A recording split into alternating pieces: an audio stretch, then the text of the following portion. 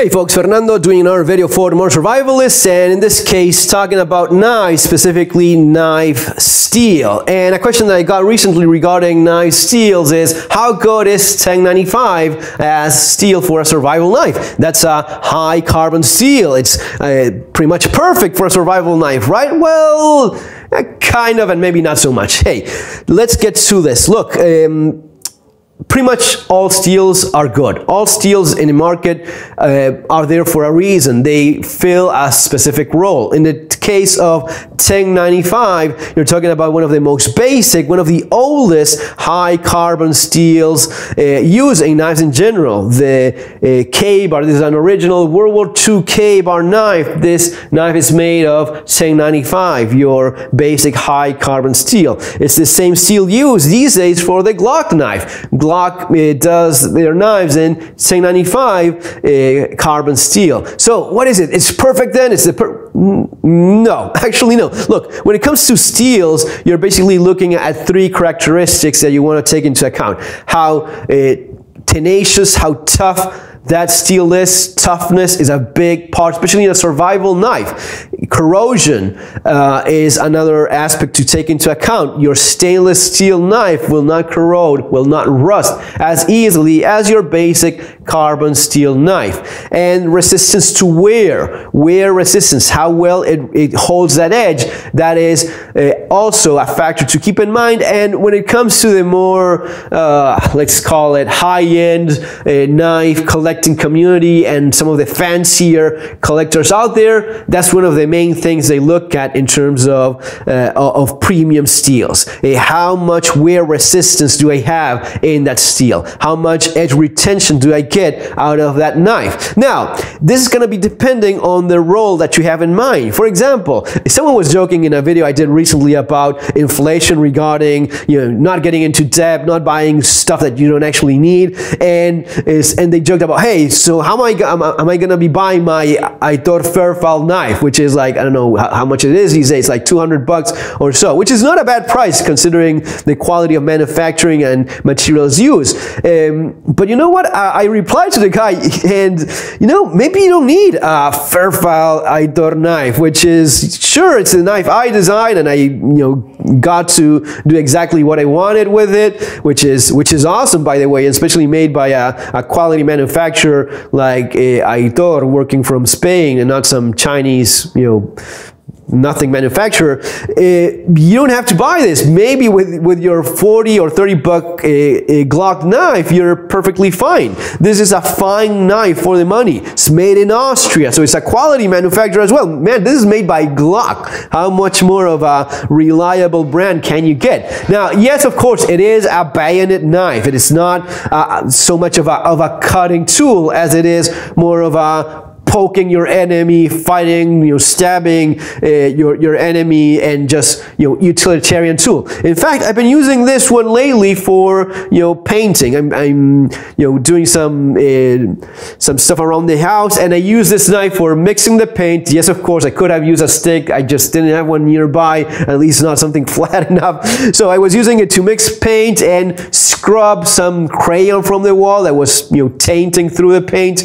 Anyway, it does the job. Uh, this is the kind of thing that you would do with a knife in, in this budget and with this kind of, of capability. So does this mean that 1095 it's high carbon steel, so it's the best steel? No. You know, carbon steel comes in a wide range of options. In fact, you have extremely high carbon steel that also happens to be stainless, blowing minds all over the place, right? Well, but the thing is that you often see people that talk about stuff they have no idea. They haven't been, especially if you haven't been involved much in the manufacturing process of these things, you, you don't get how important it is to lower lower your budget, your price for the actual building of the knife as much as possible. The main reason why manufacturers use this, knife, this steel, it's because it's cheap. It's available and it's affordable. It is, in fact, the cheapest steel you can get, your basic uh, 1095 carbon steel. Does this mean it's bad? No, of course not. It's holding an edge quite nicely, right? So you're leaning strongly on the um,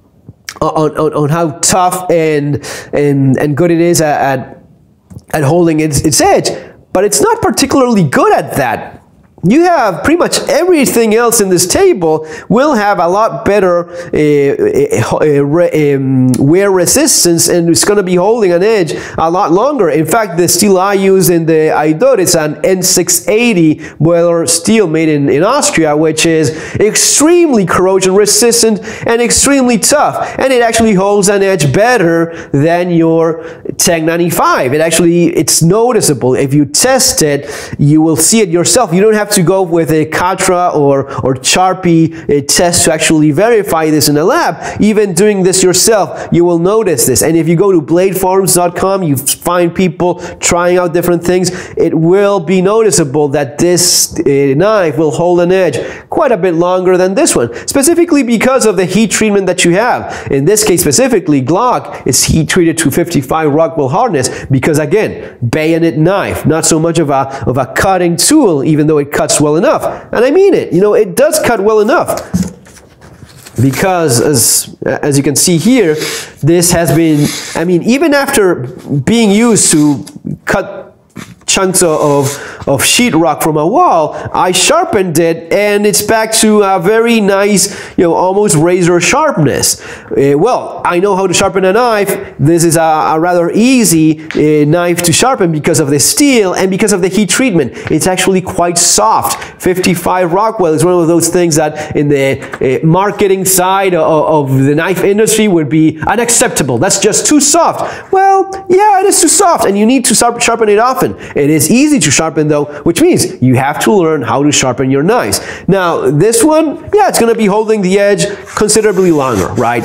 And one of the things that I appreciate and one of the things I went with uh, with this uh, steel specifically is because not only do you have a knife that's going to be holding your edge longer than your 1095, it's also hardened to uh, a much hardness. It's around 57, 58 Rockwell hardness, and it's not directly proportional. Every notch you get of hardness is considerably harder than the one before. Um, and this is a knife I actually use quite a bit, even though it looks brand new. That's one of the big advantages that you have in some of the nicer steels compared to your basic 1095, which is the aspect of corrosions and rust resistance. The market is, you know, using 1095 a lot because it's affordable, it's cheap, it's cheap to make as well. The machines take this quite nicely to sharpening and so on. It's not going to be wearing up your tools nearly as much as these other steels. Uh, but in, in terms of the knife not rusting in front of your very eye, of your own eyes, is finding a solution in terms of coating. Usually they do that tactical epoxy crappy uh, coating that I hate so much, which uh, just gets dirty all the time.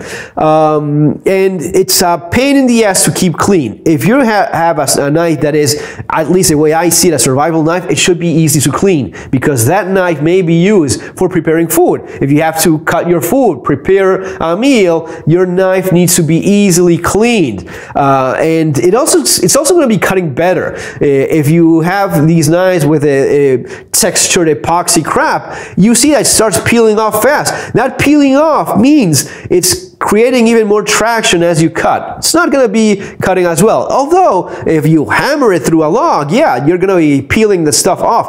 Uh, even here in the Glock knife, which this hasn't got that much uh, traction, which I appreciate, even then, it's just um, a paint over an, uh, a steel that is going to be wearing off fast. So this starts looking not so great soon enough. This, uh, you can use it a lot, and that's not going to be the case. Uh, same with, uh, with this Busse knife. Busse uh, uses their own INFI steel, which is kind of stainless, very tough, not great at edge retention though, uh, but it's tough as nails. Uh, and it's uh, rust resistant enough, it's stainless enough so that you can keep it very clean. I've used this knife to chop small uh, trees, large branches, and you wouldn't be able to tell by the kind of wear that you see because it's a tough knife, tough steel, tough construction in general. Uh, with micarta handles, full tang, yeah man, that thing is gonna be holding on extremely well. With your um, Ka-Bar knife, legendary knife, well, you often find that that these are quite rusted. These are often bent here in the grip because of the rat tail tang. And yes, it is a legendary blade, but having bought an original uh, World War II uh, original Ka-Bar knife, I can tell you, they are usually in pretty crappy condition because of all of these things that I'm explaining here. They don't hold on time nearly as well. Mm, one of the things that has really going against it is the narrow tang and the leather washer. These are organic materials, gonna be rotting. Uh, but you see it when you buy uh, uh, an original Ka-Bar in the market, the condition directly relates to the price.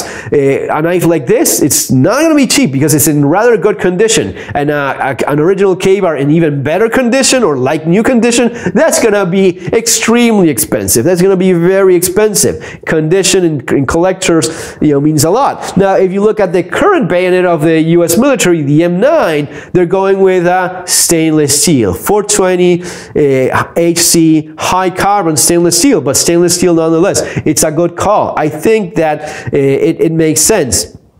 You know, I get it that for the terms of, in terms of price, ease of manufacturing, and especially with the lightweight uh, model that they're going for, this makes sense. Um, I'd really like to see a, a, stainless steel version of this, though. Uh, I think it would be, you know, a, a, a, great, great knife if this was in a, in a good stainless steel, properly heat treated and being tough.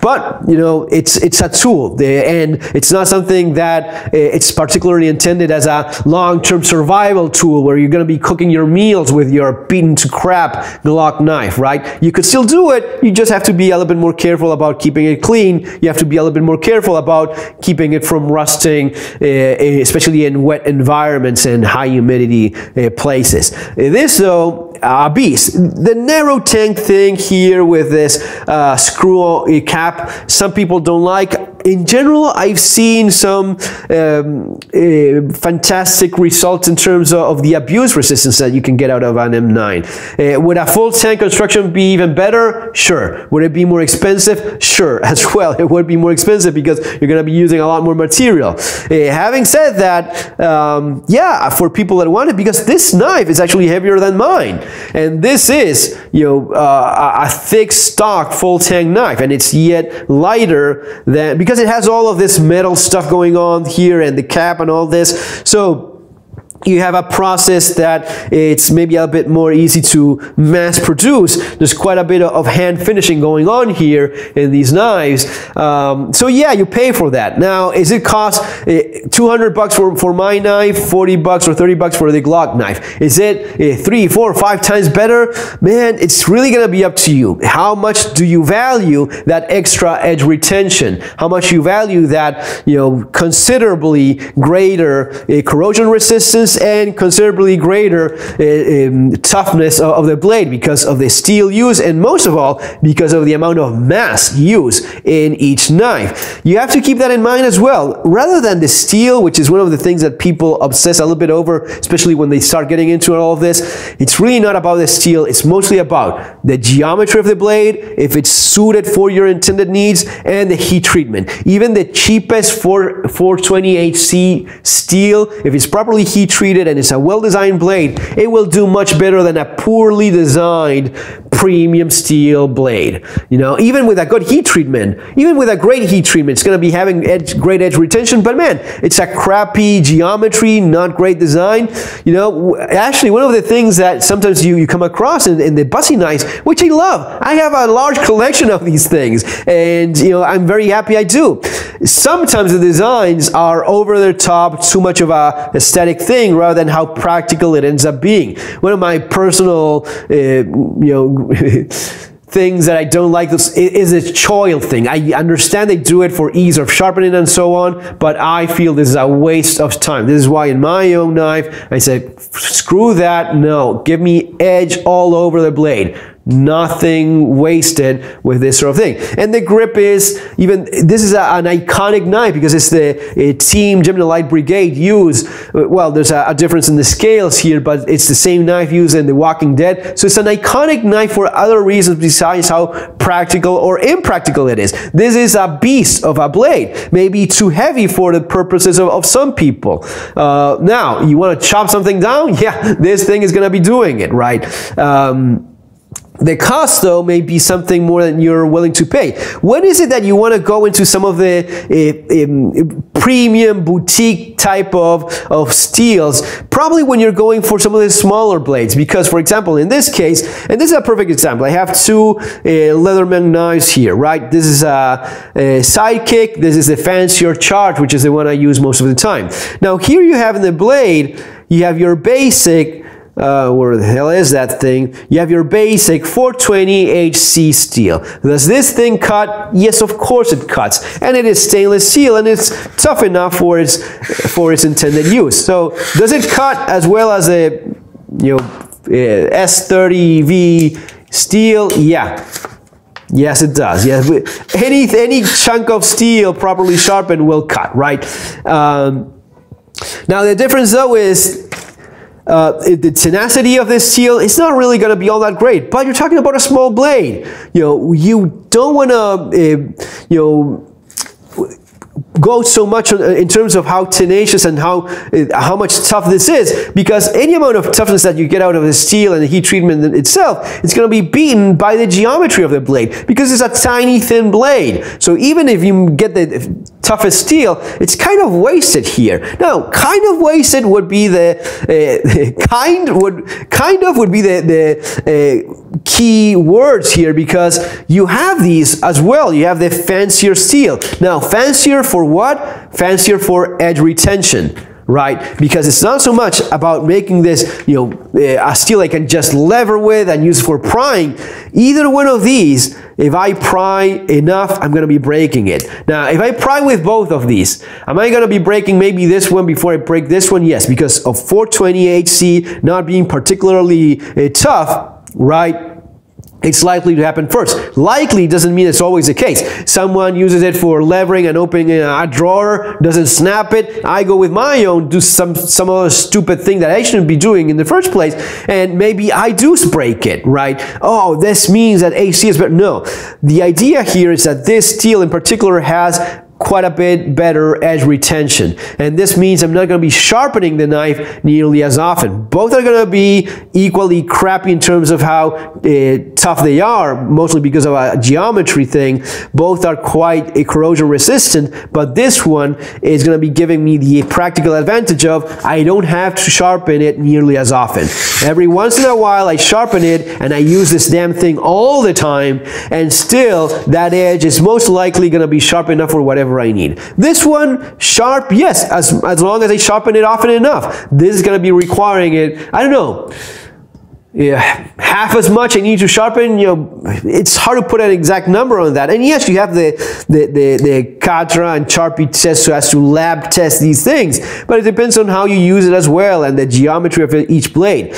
But yeah, this is definitely something that you have to sharpen less often, right? Now, when it comes to your old 1095. Is it super tough? No, it's, I mean, it's not going to be as tough as this uh, stainless steel. is actually one of the least tough steels in the table. You know, your VG10, which is very close to the N680 and the N690, VG10 is going to be having a lot better uh, edge retention than your 1095. It is stainless and it's quite a bit tougher as well than your 1095. So why is it that people think that 1095 is the best thing for survival knives because they honestly don't know any better. Anyone that says that 1095 is a perfect steel for a survival knife, they just don't know what they're talking about.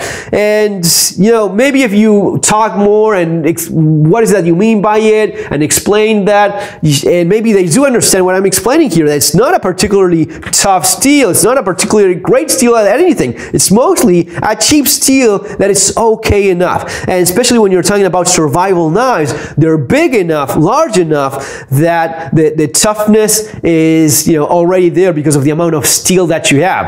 Having said that, you've seen many 1095 survival knives snap because due to marketing, they harden them way too much, trying to go for that extra edge retention that is so, so sought after by the knife connoisseurs, and they get too low on how tenacious that steel is, and it snaps. Anyway, guys, that's what I have to say about this. You know, all steels are, are good. If not, they wouldn't be in the market. Just know what you're looking for, know what each of these is capable of, and buy from quality manufacturers. Doesn't matter what you're buying. If it's made from someone that's a, reliable company, you're probably going to be having a good result with it. And if it's a, you know no name brand kind of thing, you're probably going to be disappointed and uh, unpleasantly surprised. See you in the next video. Take care.